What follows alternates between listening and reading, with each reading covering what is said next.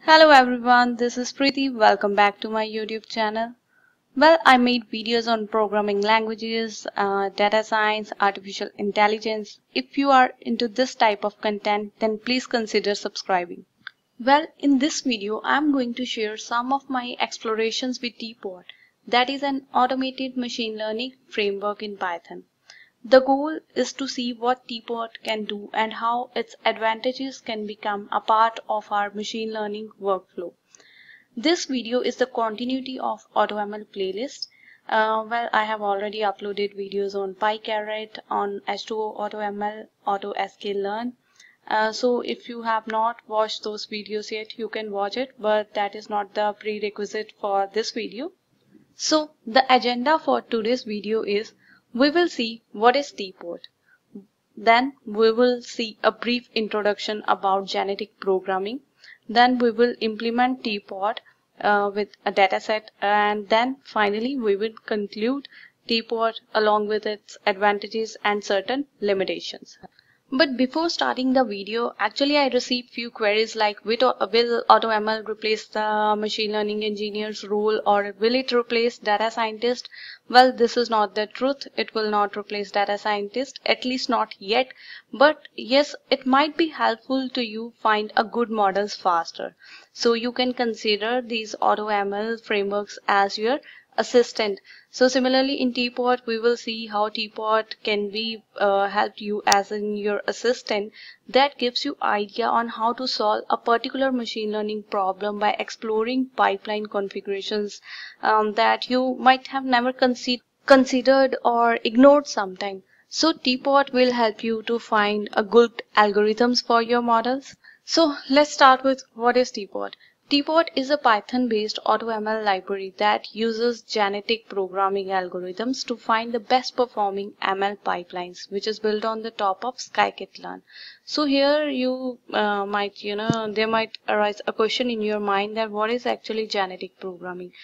We will discuss about genetic programming in this video only, but uh, just for you know better understanding.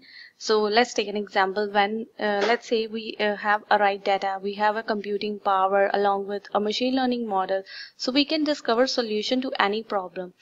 But knowing which model to use can be a challenge for us, you know. So uh, there are a lot of models. There it can be a decision tree. It can be k nearest neighbor k means uh, linear regression. So there are a lot of algorithms a lot of model so here is where genetic programming can be of great use and it can provide a help. So genetic programming will automatically figure out which models is best for this dataset and not only this but also it will help you to find the best parameters and the model ensembles for your model. So it can be also thought of as a natural selection or evolutionary algorithm so so we will discuss uh, more about genetic programming uh, in the upcoming time so here automation of TPOT consists of feature selection, model selection and parameter optimization. But it will not uh, do data pre-processing means all the part of data pre-processing such as it will not uh, do categorical conversion into numerical one. So you, uh, it is somewhat similar to AutoSKLearn library. So next it can eliminate the most tedious part of machine learning. Uh, we will see that how it helps us to do that with practical implementation. So here you can see that it uh, automate all this process. Uh, it actually doesn't automate all the data uh, cleaning process. You have to do some uh, you know uh, feature engineering by yourself some pre-processing by yourself. But yes it definitely helps to find you the best algorithm best model for your data set and it provides the best parameters as well well, we have already discussed about genetic programming in machine learning, how it helps us in machine learning. So in simple words, genetic programming actually it is used to discover solutions to the problems that human don't know how to solve directly. So uh, if there are certain solutions which are, you know, out of, out of our perceptions, so it generates solutions so, and provide, you know, better results. So genetic programming, um, if I talk about in layman terms, it is a technique that is used to create algorithms that can pro program by themselves. So instead of programming a model, uh, that can provide a particular problem genetic programming only provides a general objective and let the model figure out the details itself so uh, in simple words in layman words i can say that uh, it uh, just let the machine automatically test the uh, various algorithms and will provide you with the best one so so in TPOT, it tries a pipeline, evaluates its performance and randomly changes parts of the pipeline in the search for uh, better performing algorithms. It has three properties, uh, selection, crossover and mutation. In selection property, it takes the population of possible solution and fitness function and at every iteration each solution is evaluated. In crossover, it takes uh, selecting the fittest solution and performing crossover to create a new population. It's quite simple actually. And the last one is mutation. Uh, it takes uh, their children and and mutating them uh, with some random modification until you get the fittest or you can say the best solution. Now let's have a look at their official website. You can just simply click uh, type AutoML TPOT or TPOT. You will get this official website uh, I will provide the link in the description below so here uh, installation is very simple you can just uh, simply do pip install and one more thing if you want to use XGBoost then you have to install it fine so um, even uh, TPOT still function normally without XGBoost uh, if you have not installed. But if you want to use it you can install it. So here I just want to show you guys this thing. So here TPOT API uh, is provided for classification as well as for regression problem. So we will see this how we can use these parameters uh, okay to find the right algorithm. So let move let's move towards our problem. So here is a problem for predicting blood analysis. So here uh, we have to do the prediction that whether a person is going to donate the blood again, again or not. It's just a small and uh, less complex data set actually. So I have chosen this because uh, uh it's quite easy to run it on TPOT because if it's a large data set then TPOT will take a lot of time well you can download it from here if you want or I will also upload it on my github. You can download it from my github repo as well if you want. So let's start with this. I'm going to use Kaggle kernel for this dataset um, the reason is I will tell you the reason in the end. So let's start with this dataset you can even use Google Colab or Jupyter Notebook if you want. So now uh, I have already tell you the aim of the project. It's a classification problem. Uh, we have to identify who is likely to donate the blood again. So the person is going to donate blood again or not. So we have to identify that. So let's start with importing some necessary libraries. I have already imported it. Now I just want to filter out the unnecessary warnings. Then I'm loading my dataset.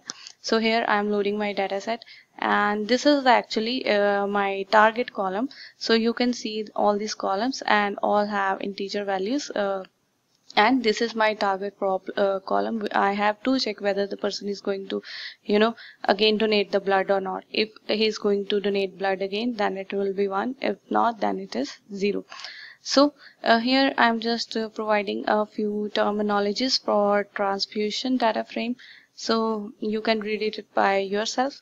Then I'm checking the size of my dataset. From train is 576 in the six columns and then for test dataset it has 200 rows and five columns so uh, after that I'm getting the information. You can see here that there is a no null value. So there are no missing values here. And all the data types are of integer type. So definitely we don't need to do any missing imputation uh, and uh, we don't need to convert any uh, data set. There is no object data set. All are have integer values. So uh, okay now uh, we know that our target column is this one. So what I am doing here I'm just uh, simply you know for simplicity purpose I am just renaming it fine this target column. So um, to check uh, about the uh, my data set whether it's a balanced data set or imbalance I'm just checking it. So here you can see that uh, zero means the person who uh, doesn't you know donate the blood again it's almost 438 and the person who is going to donate the blood is 138 so it's an imbalanced data sheet uh, data set actually. So uh, let's look to test data set. So why uh, fine. So this is about test information. We don't have any null values. All the features are of integer type.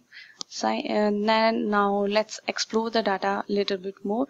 So describe function. We know that how describes helps us to give us all the statistical information about our data. So you can see this now uh, let's check, uh, check about the outliers and uh, you can see that uh, box plot. And uh, so after looking into box plot you can see that most of the donations happen around the 10th month and there are few outliers as well so we know that we can treat the outlier depending on upon the algorithm we are using. If we are using you know logistic or linear regression, then these algorithms are sensitive to outliers. We have to you know treat the outliers. But if we are using uh, unsupervised, you can say hierarchical clustering, they are not uh, sensitive to outliers. So we will see that in future so here what i'm doing i'm just i just want to check the multicollinearity. So here is a heat map for this. And uh, you know what positive number and what negative numbers means. If you are not familiar with the terms you can read it from here. I have provided everything in the note, note below. So now let's start with model building so uh, one thing guys if there are categorical features and there are uh, it does some pre-processing but not all the pre-processing. You have to take care of certain things by yourself. So here what I am doing I'm just splitting my dataset into train test split. That's very simple. And I'm providing test size of 0.2 and random state you can give any random number you want. So here I'm just dropping the id column unnamed column that is just a random id and the target column which is basically I have to predict this. So I'm dropping this and splitting my data set into train test splits. So now I'm going to use TPOT classifier and I'm going to use uh, ROC um, AUC score to predict uh, you know uh, my data set. So here I have provided few parameters. Now what all these parameters are about actually. So here I am using uh, generation is equals to 5 and uh, then uh, apart from this I am using verbosity is equals to 2. So verbosity is equals to 2 means that it will uh, state how much information uh, TPOT will communicate while it is uh, running so uh, apart from that generation actually basically means generation is the number of iterations to run pipeline optimization process. By default it is 100 but if uh, we'll give it 100 it will take a lot of time. So I have given 5 you can give 10 20 any number you want. Then there comes a population size. Population size basically means the number of uh, individuals to retain in the genetic programming population uh, in every generation. It is also 100 by default. Uh, there are certain more parameters such as offspring size, mutation rate. So let me just go to this. So here you can find this and the definitions are also provided here below. So each and every parameter is defined here. Mutation rate basically is for genetic programming algorithm. It's in range 0 to 1. So um, there is even crossover rate for genetic programming algorithm. Uh, it tells how many pipelines to breed every generation. There is a crossover rate. There is a scoring parameter. So scoring parameter is definitely an important function that is used to evaluate the quality of the given pipeline. Uh, it's uh, for classification actually. I have used uh, a ROC AUC curve so it will provide me uh, you know it will help me to evaluate the quality of my uh, problem. Then there is uh, CV also cross validation strategy. By default it is 5 so um, I have not given any CV I want to use 5 means by default value there is a random state. Random state actually the seed of this uh, pseudo random number generator it is somewhat similar to the random state we used during train test split. Um, if we use the same number it will give the same result uh, when we run each time each and every time. So uh, fine. These are all about parameters and uh, I have just checked the update check is equals to true and configuration. You can explore it more from their official website actually. Fine. So you will be more clear with this. So these are all the parameters I have used fine so here I am just evaluating the score and so next I just want to check the ROC AUC score for my you know dataset for my model. So next what I'm doing I just here what I'm doing I just want to print the best pipeline steps. I'm just using a for loop and for uh, enumerate basically adds a counter to uh, an iterable in Python this is a uh, function of using enumerate function. So here it will uh, provide me uh, you know the all the uh, best pipeline steps. So with the values obviously. So these are the best pipeline steps and it has chosen a logistic regression for this along with the best parameters fine. So it has provided me AUC score and so I am uh, just using this here. If you don't want to write it here just you want to select you can uh, you don't need to mention here. You can simply use fitted underscore pipeline underscore. This will give you the uh, best uh, algorithm for your model the best model and definitely with the best parameters. Fine. So uh, you don't even need to write these steps here. So apart from that now I know that uh, the best uh, you know uh, model it has chosen is logistic regression and it doesn't require any pre-processing. Even if it requires any pre-processing such as even if it requires any you know uh, log transformation or anything anything it will uh, provide you here. It will give you all the details and it is providing me AUC score 80% uh, almost. Fine so it is 80% so now let's train the regression model. Uh, linear regression uh, for this logistic regression I have to import this uh, sklearn.linear model. So I am just uh, initiating it and providing that parameters which TPOT has provided me. So now here what I have done I have just fitted the model. So it is ready to train. After ready uh, uh, done after doing this I'm just uh, testing my test data set. I'm just doing predictions. So here is the confusion matrix. You can get the confusion matrix. Uh, apart from that uh, I have used AUC score so I can get the AUC score here. So this is all about TPOT so you can see that how simple it is.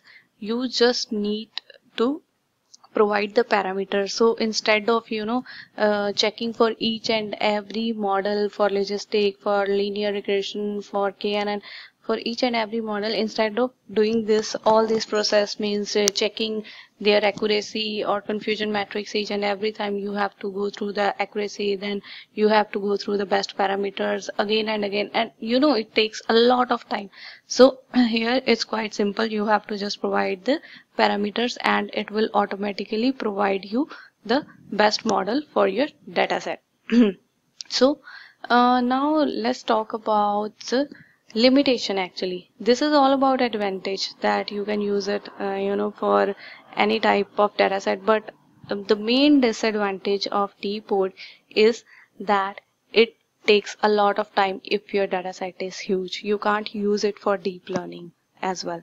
So another disadvantage that i have noticed is that it sometimes provide different results for same dataset like I have run it on Kaggle and it was uh, you know giving me logistic regression as the best model along with this parameters.